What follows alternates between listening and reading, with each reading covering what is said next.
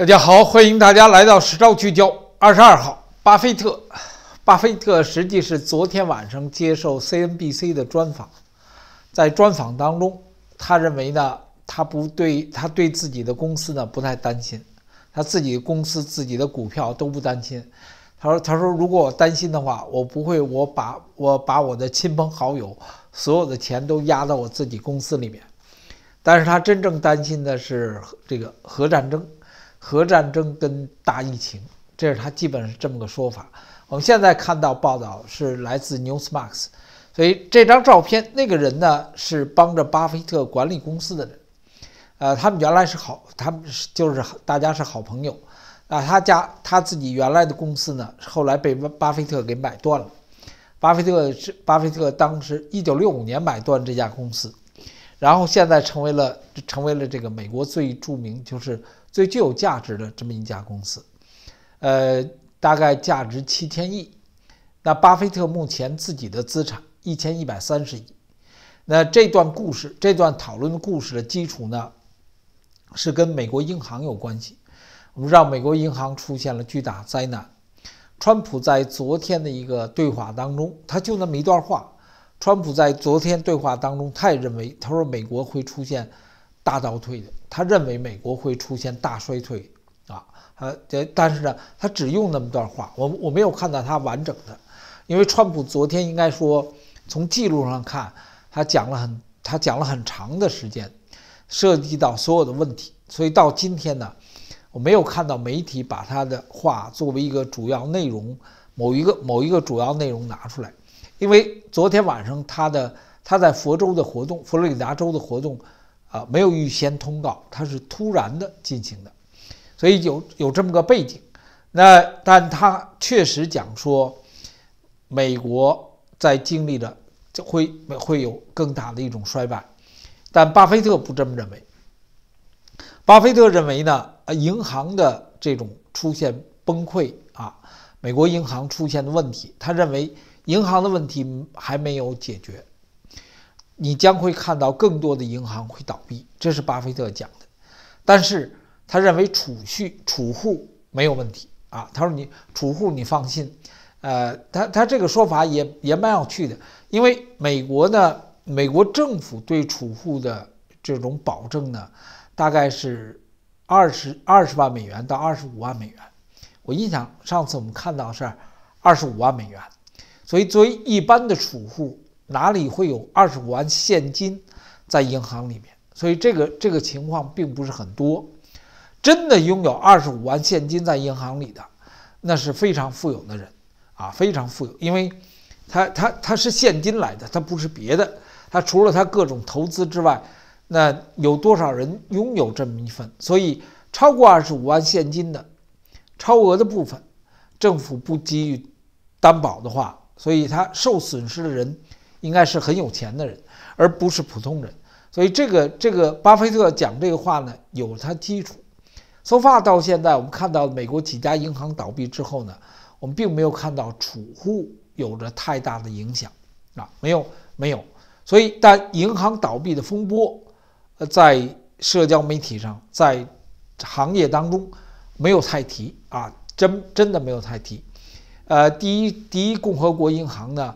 在传说的在传说倒闭的过程中呢，并没有倒闭，也就是说，美国政府所出台的，以及它金融体系内部进行银行救援，大的银行去救助这些其他几个银行联手去救助一个银行，似乎产生作用，但是没有解决问题。所以在巴菲特的眼睛里，他不认为银行的问题能以解决。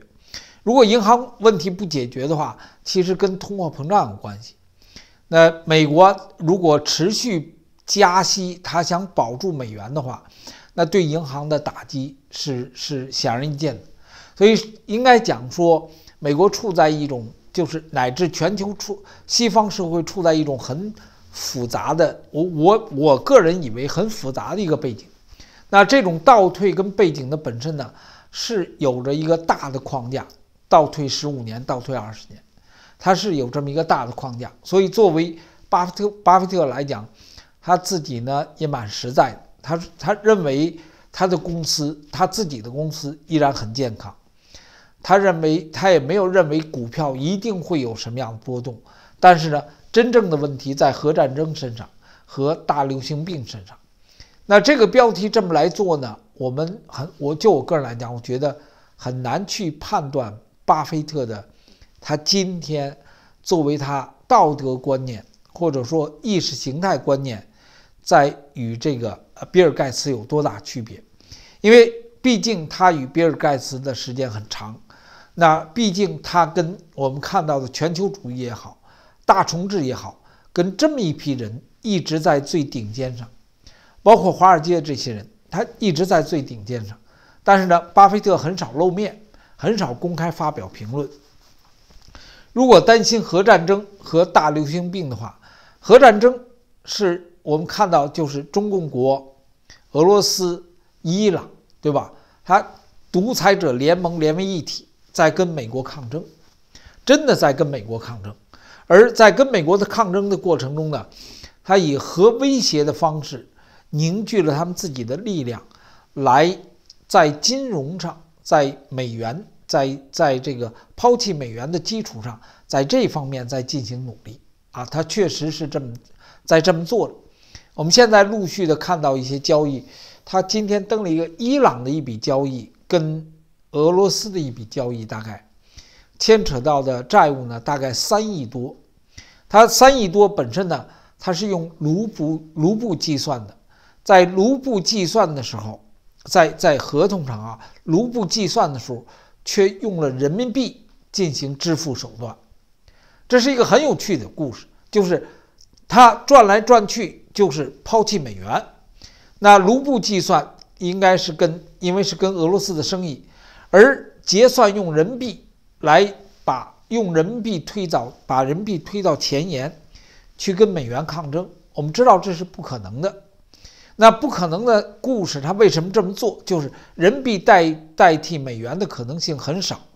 那他今天处于初期阶段，就是来趁着美国经济本身的不健康，美国政府本身的很不健康的某些行为。其实目的是在搞乱美国，我我以为目的是搞乱美国，而并不是说他有多大能力去取代美元，这是这是完全两个概念。所以让美国自身乱，那核战争的威胁跟大流行病其实都有这个成分。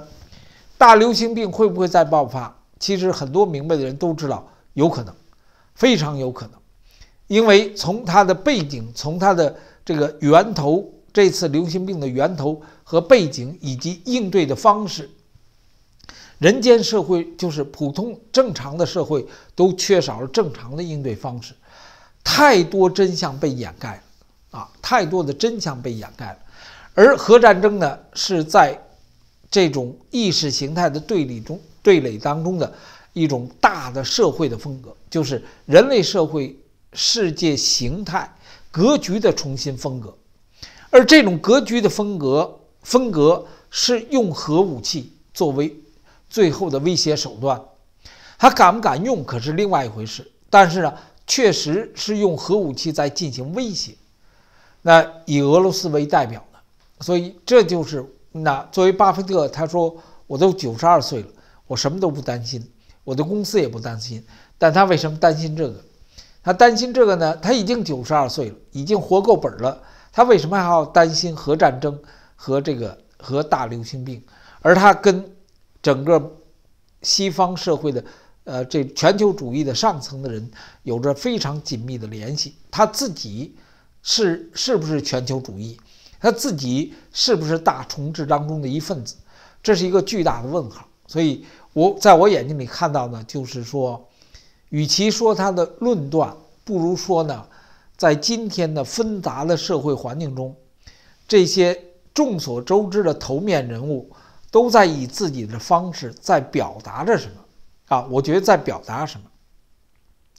呃，这篇简单内容他这么讲了：，呃，核战争跟未来的大流行病，他认为是最主要的，而不是公司或者经济。他他说那个让他睡不着觉，但九十二岁了担心核战争睡不着觉，什么意思？对吧？这是一个我我以为这里头有背景的。呃，他在 CNBC 的采访当中认为呢，他的公司，他的公司本身很好，真正担心的不是自己的公司，而是外面的一切啊，外面的一切。然后他说，这些担心的是核武器和将将来要爆发的疫情。那而公而这些东西呢，对于我们来讲又是无能为力。他说，对于我们来讲，因为我们对他是无能为力的，所以我就睡不着觉。啊，我睡不着觉，我不知道如何处理这些事情，真的这是个矛盾的故事。